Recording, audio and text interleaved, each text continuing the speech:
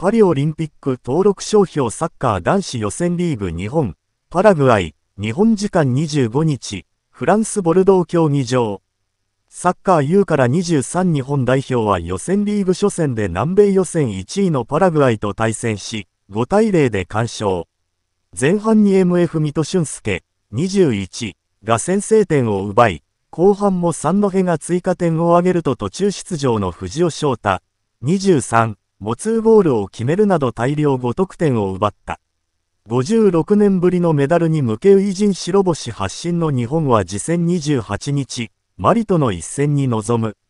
日本のスタメンは、GK に国ボレオ・ブライアン、23、DF に大畑歩、23、関根弘樹、21、木村誠二、22、高井光太、19の4人、MF に山本理人、22、藤田ジョールチマ、22、水戸俊介、21の3人、そして FW に細谷正宏、22、斎藤幸喜、22、平川優、23の3トップの布陣となった。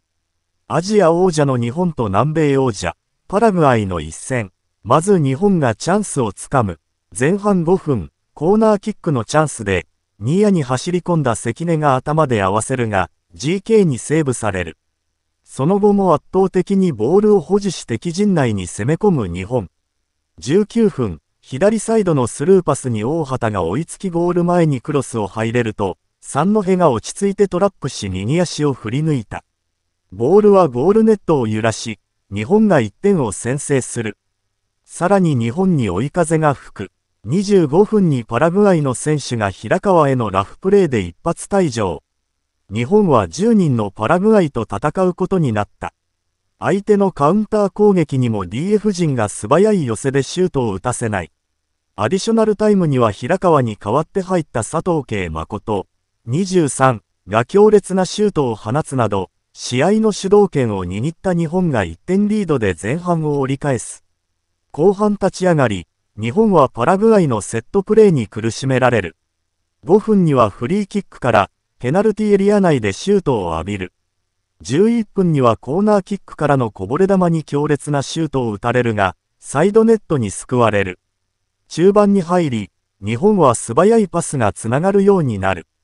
19分に、左サイドでボールを持った斉藤が個人技で一人かわして、ゴール前の三の辺にピンポイントクロス。フリーの三の辺が頭で合わせて、この日2点目となるゴールを奪い、2-0とリードを広げる。24分には右サイドからのクロスをゴール前で斉藤が落とし、走り込んできた山本が狙いすました一撃。ボールはゴール右隅に突き刺さり、3点目を奪った。さらに後半から入った藤尾翔太、23、ガツーボールを奪い5得点の日本が、南米のユーパラグアイに勝利。日本は2000年シドニー大会以降、初戦に勝利した3大会、シドニー、12年ロンドン、21年東京はすべて決勝トーナメントに進出している。試合後、大岩監督は、相手に退場者が出たんで、ボールを支配する時間が長く大量得点につながりましたが、次に向けて準備していきたいです。もう一つ一つ勝つだけですね。その先に決勝トーナメントに行けると信じていますのでと話し、次戦のマリ戦を見据えた。3点目を決めた山本は、家族が見に来てる前で最高のゴールという形でチームに貢献できたのは嬉しかったと笑顔を見せ、28日のマリ戦に向けて、次勝ったら決勝トーナメントが見えてくると思うので、次の試合、全力で勝ちたいと思いますと力を込めた。大岩ジャパンは、8大会連続12回目となる五輪切符を獲得。1968年メキシコ大会以来56年ぶりのメダル獲得を目指す。パリ五輪で日本はグループ D に入り、25日にパラグアイ、28日にマリ、31日にイスラエルと対戦。グループ上位2チームが準々決勝へと駒を進める。試合日程、日本時間、予選リーグ、7月25日日本語のゼロパラグアイ、フランスボルドー。7月28日日本 VS マリ、フランスボルドー。7月31日日本 VS イスラエル、フランス・ナント、